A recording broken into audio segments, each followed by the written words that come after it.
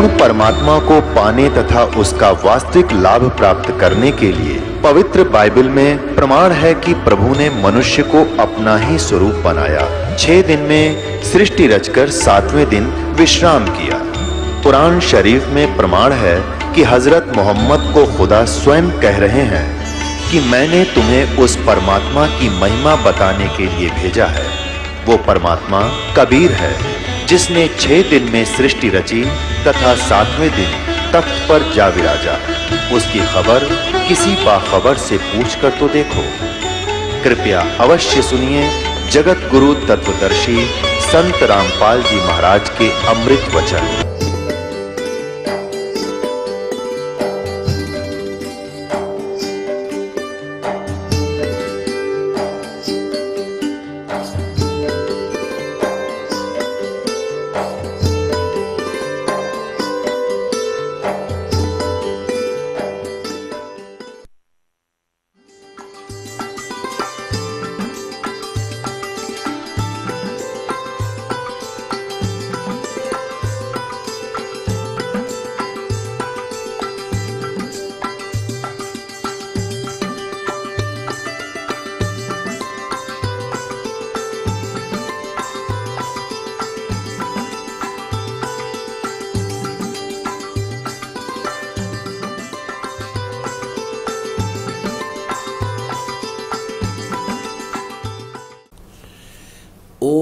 तत्सत।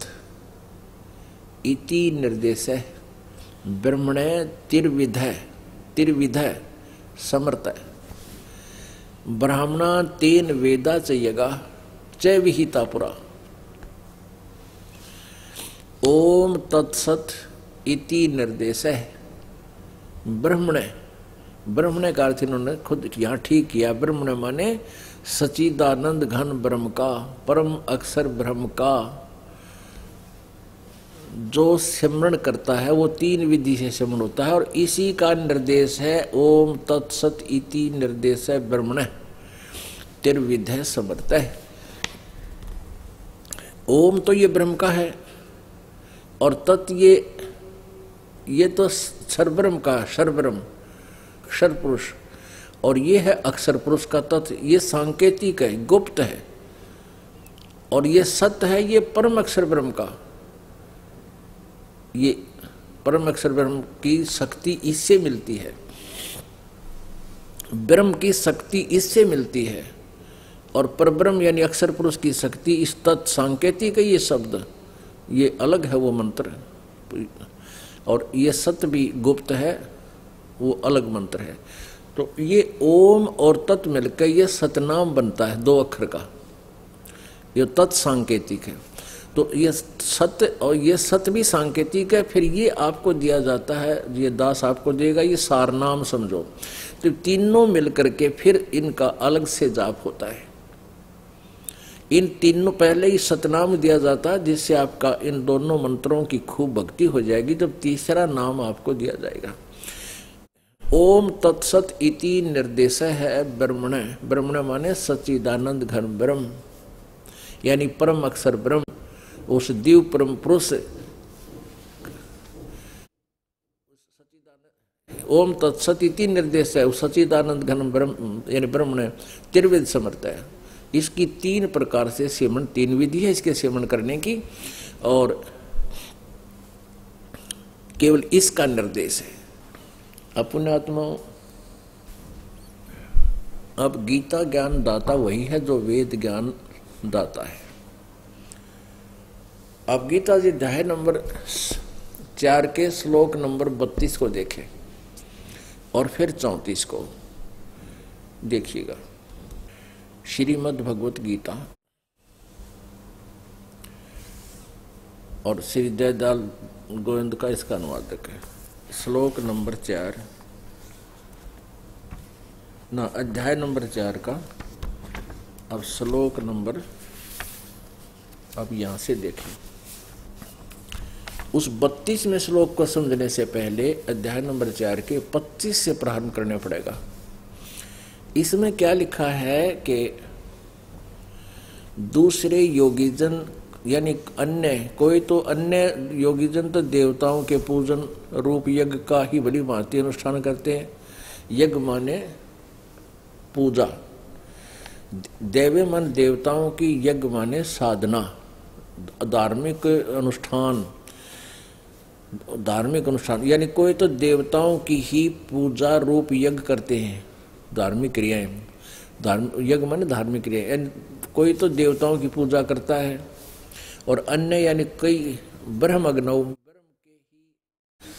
ब्रह्म में ही अपना लगन लगाए रहते हैं, इसका अर्थ ये है पर ब्रह्म नहीं ओनली ब्रह्म ये ये भी पढ़ लेंगे, क्योंकि नागरी लिपि है, इसको पढ़ने में कोई समस्या हमें नहीं आएगी। अनुवाद करता जहाँ विचलित है हम इसको ठीक कर लेंगे। वो ब्रह्म साधना करते हैं। यज्ञ के द्वारा ही आत्म स्वरूप यज्ञ का हवन किया करते हैं। कोई सब चिंत, आत्मचिंतन ही करता रहता है। और अन्य अकान सरोतर आदि समस्त इंद्रियों को संयम रूप अग्नि में कान आदि को रोक लेते हैं। जब हवन कर, किया करते हैं। दूसरे योगी जन शब्द आदि, यानी केवल संयम को ही महत्व देते हैं। समस्त विषयों को इंद्रिय रूप अग्नि में हवन किया करते हैं और सत्ताईस में। दूसरे योगी जन इंद्रियों की संपूर्ण क्रियाओं को, संपूर्ण प्राणों की समस्त क्रियाओं को ज्ञान प्रकाशित आत्म संयम योग रूप अग्नि में ही स्वयं करते हैं, हवन करते हैं। यानी कोई केवल ज्ञान पर ही आश्रित है, बस जैसे केवल ज्ञान हो गया। और अट्ठाईस में कई पुरुष, यानी अन्य कई साधक द्रव्य संबंधी यज्ञ करने वाले, जैसे कि दान दे दिया, कि भंडारे कर दिए, कि कोई मंदिर का लठ गडवा दिया, कहते वो इस में मोक्ष मानते हैं। और कुछ ये हठ योग तपस्या करते रहते हैं। और दूसरे कितने ही कोई योग अभ्यास करते हैं, योगासन आदि करते हैं, इस सबने मोक्ष मान लेते हैं। कितने ही साधक अहिंसावादी तीक्ष्ण वर्तों से युक्त, जैसे मुँह का पट्टी बाँध कर नंगे नंगे पैरा घूमते हैं, इसी को मोक्ष मानते हैं। और यतन, यतनशील पुरुष स्वाध्याय रूप ज्ञान यज्ञ को करने वाले हैं। कुछ स्वाध्याय करते हैं, जैसे गीता जी का एक पाठ कर लिया वो कोई गायत्री मंत्र का जाप कर लिया, पाँच बार नमाज़ कर ली, कहते यहीं तक सीमित है। उनतीस तीस में कहा है, और कितने ही योगी जन अपान वायु में, प्राण वायु को, ये अपने सुख, श्वास उश्वास को सूक्ष्म करके ही, इसी में इन्हें सोचने काफ़ी समय तक बिना श्वास लिए रह जाते हैं। इसे क्या लाभ होता है? वो वो बात की बातें ऐसी कुछ साधना करते हैं। वैसे ही अन्य योगीजन प्राण वायु में अपान वायु को हवन करते हैं। अन्य कितने ही नियमित आहार करने वाले हैं, कोई फूल फल फल खावे है, कोई फूल फूल खावे, है, कोई जल, दूध आहारी है, दूध दूध पर रहता है। और कुछ प्राणायाम ही करके अपने शरीर को योग अभ्यास से ही, कुछ से ही अपने अपने भक्ति को मानते प्राणायाम प्राण यानी प्राणायाम पर आश्रित पुरुष प्राण और अपान की गति को रोककर प्राणों को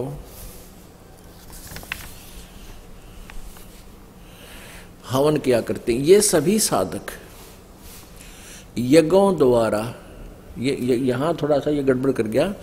यज्ञों द्वारा पापों का नाश कर देने वाले यज्ञों के जानने वाले इसका अर्थ यह है कि सभी अपनी अपनी साधनाओं को पाप नाशक जानते हैं। मानते हैं, इसीलिए तो कर रहे हैं जब नबेरा पट जाए ये साधना ठीक हो, उसी दिन ना छोड़ देंगे।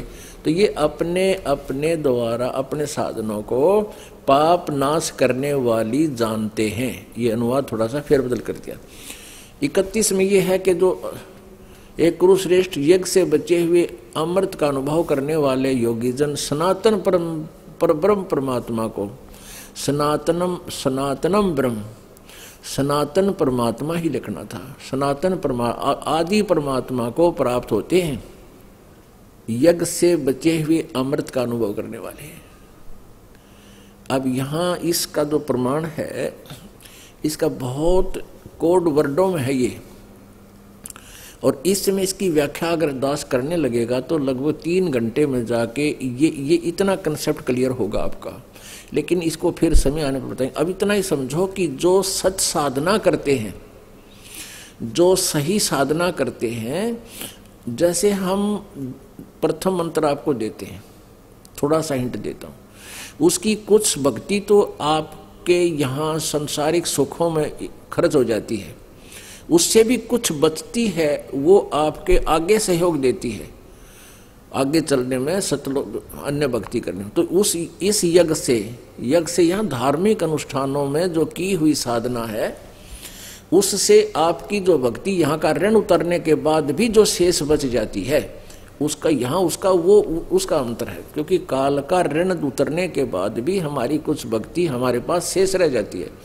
तो वो, उसके कारण हम फिर सतलोक जाते हैं। जब तीन मंत्र का हम जाप करते हैं, ओम तत् सत, तत् और सत्य सांकेतिक।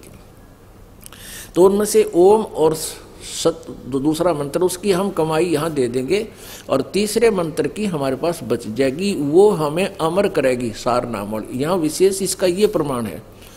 लेकिन आगे चलते हैं। वो तो वो सनातन परमात्मा सनातनम ब्रह्म यानी उस आ, सनातन परमात्मा जो सबसे वो परिभू परिभू। यजुर्वेद अध्याय नंबर चालीस के श्लोक नंबर आठ में उस कबीर मनीषी को परिभू, स्वयंभू कहा है। यानी परिभू माने सबसे पहले प्रगट परमात्मा, सनातन ब्रह्म, स्वयंभू, स्वयं प्रगट होने वाला। तो यहाँ सनातन ब्रह्म को अमृत से यज्ञ से बचे हुए अमृत का अनुभव करने वाले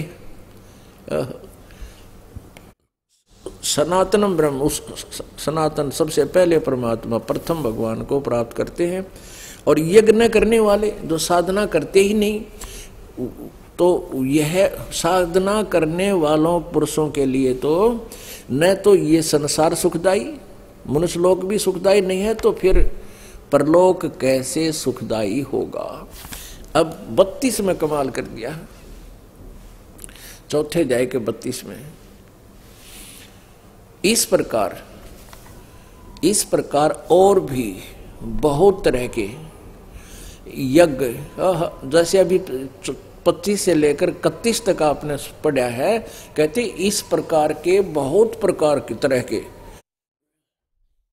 एम एम माने अन्य बहुत प्रकार के यज्ञ। यहाँ लिख दिया, इन्होंने गलत अर्थ कर दिया, ब्रह्मण का अर्थ कर दिया, वेद की ब्रह्मण मुखे ब्रह्मण मुखे। इन्होंने ब्रह्मण मुखे का अर्थ यहाँ गलत कर दिया। वाणी तो ठीक है यह ब्रह्मण का अर्थ गलत कर दिया। ब्रह्मण का अर्थ लिखना लिखना था सचिदानंद घन ब्रह्म की वाणी में। अभी आपने सत्रहवें अध्याय के तेईसवें श्लोक में जो देखा, ये देखिएगा। ये सत्रहवें अध्याय के तेईसवें श्लोक में अभी अभी आपने तुरंत पढ़ा था कि ओम तत्सत इति निर्देश ब्रह्मण त्रिविद समर्थ। ब्रह्मण का यहाँ अर्थ लेते हैं इन्हीं के शब्दों में। ओम तत्सत यह ऐसे ती, ये ऐसे यह तीन प्रकार का सचिदानंद घन ब्रह्म। ये ब्रह्मण का अर्थ है सचिदानंद घन ब्रह्म यानी परम अक्षर ब्रह्म। परम अक्षर ब्रह्म यहाँ देखिए फिर हम यहीं आते हैं। अब चौथे अध्याय का हम फिर देख रहे हैं। चौथे अध्याय का ये फिर बत्तीसवा मंत्र, ये यहीं पर है, बत्तीसवा मंत्र। इस प्रकार और भी बहुत तरह के यज्ञ, यानी धार्मिक अनुष्ठान की जानकारी, धार्मिक क्रियाओं की जानकारी, ब्रह्मण मुखे सचिदानंद घन ब्रह्म की वाणी में सचिदानंद घन ब्रह्म की वाणी में विस्तार से कहे गए हैं, वो कबीर वाणी में, कबीर वाणी में। उन सबको तू कर्म जान, यानी शारीरिक मन इंद्रिय और शारीरिक क्रियाओं द्वारा संपन्न होने वाले जान, और इस प्रकार जानकर उनके अनुष्ठान द्वारा तू कर्म बंधन से सर्वता मोक्ष हो जाएगा। अब तैतीस में मैं क्या कहा है? ये तैतीस में मैं क्या कहा है? ये देखिएगा। हे परंतम अर्जुन दर्व में यज्ञ की अपेक्षा